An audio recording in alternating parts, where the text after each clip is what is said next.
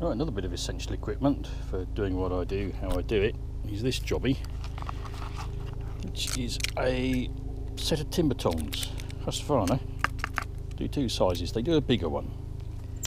When I bought these, I thought if I got the bigger one, I'd have to move bigger lumps of timber.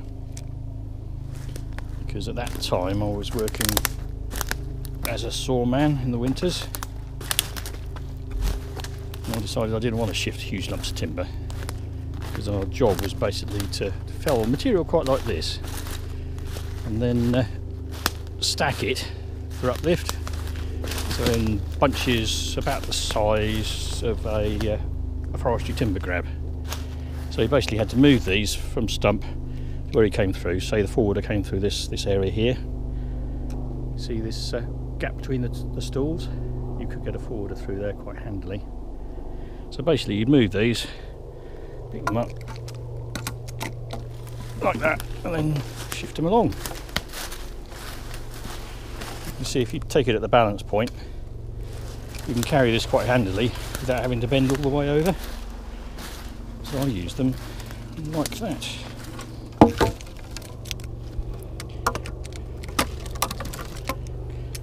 Very very good if it's been raining and all this green stuff, which is an alga called Chlorococcus. It's very, very slippery, so if it's been raining, then you use these rather than get your gloves all covered in mank and all wet. And also, because you're lifting it like that, if your hands are getting a bit past it like mine, that's much easier than trying to grab something like that or like that.